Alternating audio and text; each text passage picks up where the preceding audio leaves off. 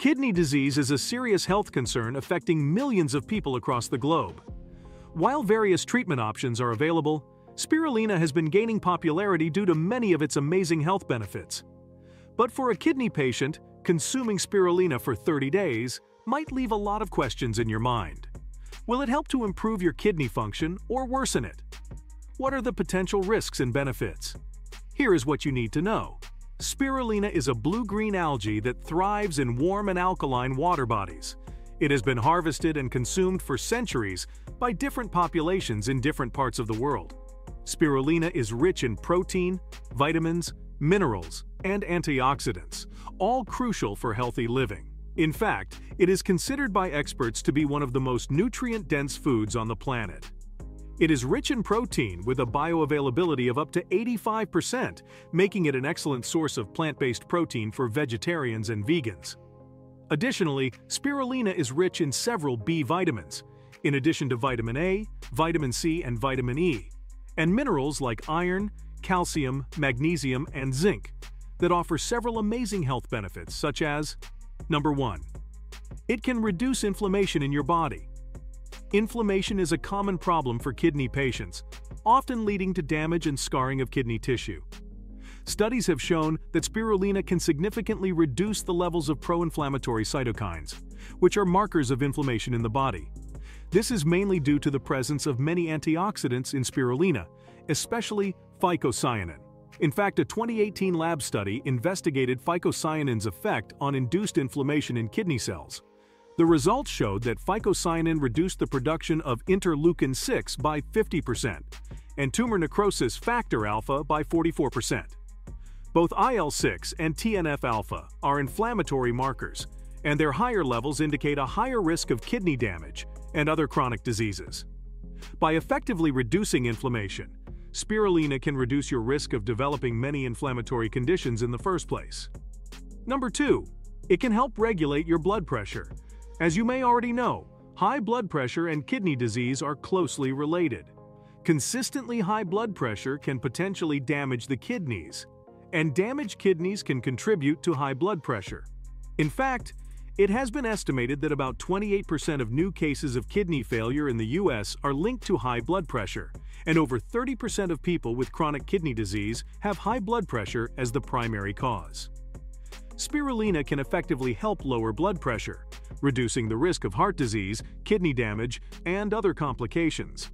In fact, a 2020 study shows that consuming 8 grams of spirulina per day for 12 weeks reduced systolic blood pressure by up to 7.9 units and diastolic blood pressure by up to 5.2 units.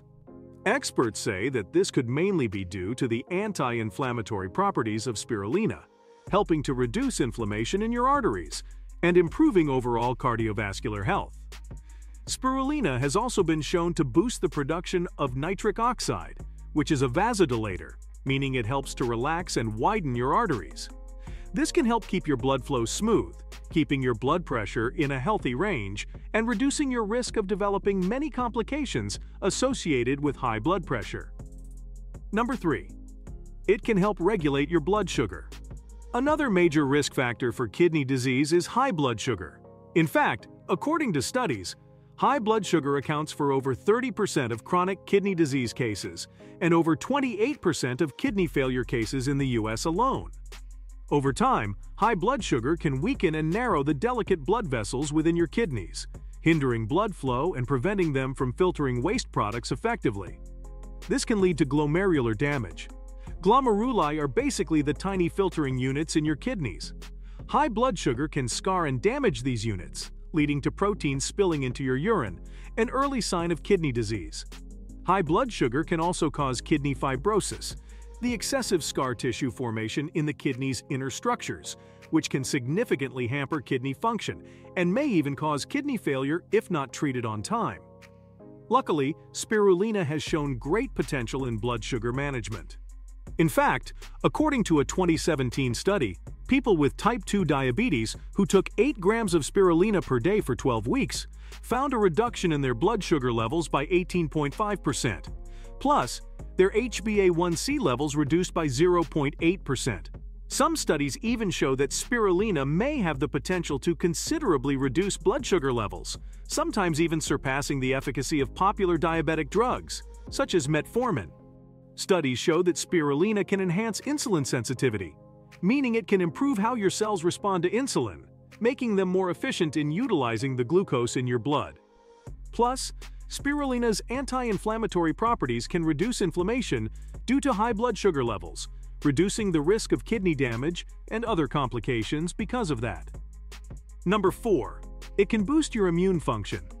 Kidney disease can weaken the immune system, making kidney patients more vulnerable to infections and diseases. Spirulina is rich in many immune-boosting nutrients such as vitamin C, vitamin E, and beta-carotene. It also contains polysaccharides, which have been shown to enhance the activity of immune cells in the body, natural killer cells to be more specific, which act as frontline defenders against infections and tumors. Having a healthy immune function can greatly minimize your risk of developing UTIs and other complications associated with kidney disease. Number 5. It can reduce your risk of developing anemia. Anemia is a common complication of kidney disease, where the body cannot produce enough red blood cells. And many people don't know that kidneys are the primary site of EPO production, a hormone crucial for stimulating red blood cell production. In kidney disease, EPO production declines, leading to decreased red blood cell production and anemia. Chronic kidney disease can affect nutrient absorption and metabolism, leading to deficiencies in iron, vitamin B12, and folate, all essential for healthy red blood cell production. Luckily, spirulina contains around 2.85 milligrams of iron per just 10 grams, making up for about 16% of daily needs for men and 35% for women. Plus, it's also a good source of vitamin B12 and folate, both essential for the production of red blood cells. Now let's see what is the safe dosage of spirulina for kidney patients. Many experts recommend taking 1 to 8 grams of spirulina per day for optimal results. For blood sugar management, a daily dose of around 2 grams has been found to be effective and safe for most individuals. For blood pressure regulating effects, daily dosages of around 3.5 to 4.5 grams have been recommended by many experts. But remember that before starting to take spirulina on a daily basis, consulting your doctor is essential. Spirulina contains a lot of protein, and having a diet low in protein is generally better for kidney function. This is particularly important if you have chronic kidney disease, high blood pressure or hypertension, and high blood sugar or diabetes.